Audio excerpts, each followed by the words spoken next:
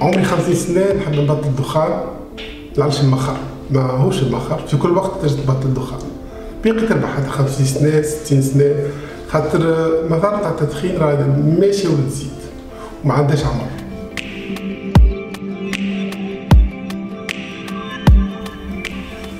سيجارات light اللي هما السجاير الخفيفه أه ما همش أقل ضررا من السيجارات العادية parce que هما هما في نفس الشغل فيهم فيهم ثقوب موجودين اللي يخلي البقية تاع الدخان تخرج من الثقوب هذيك أنت كي تبدأ تتكيف normalement ثم partie تخرج يخليك اللي السيجاره تعطيك فرد القدر تاع الدخان والنيكوتين.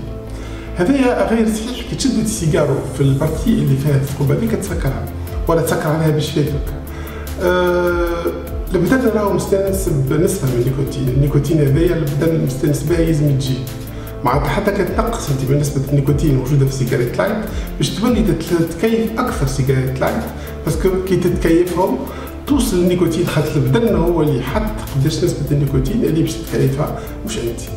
ثم شكون يتكيف يقول لك أنا مانيش تكيف برشا ومازال بكري بزيد صغير. فثما يختار باش يجي مادام تو نجم نبطل تو كي نكبر مازال بكري. أما ماكش ضامن اللي انت باش تبطل كي تكبر علاش خاطر اللي قد ما انت تتكيف قد ما درجه الإدمان نتاعك تزيد. ما تنجمش تبطل من بعد تولي مش ساهل ياسر باش تنجم تنحي الدخان هذاك علاش المنصوح به اللي أنت تبطل الدخان مادامك صغير قبل ما يجيو المخاطر اللي جاية من الدخان